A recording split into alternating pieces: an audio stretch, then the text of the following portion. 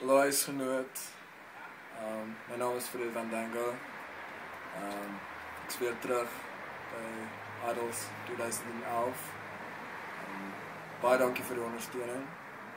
En dankie dat julle die pad saam mee stap. Ons kyk wat gebeur hierdie jaar. Hoopelik weet jy, hoopelik is dit goed. Maar baie dankie.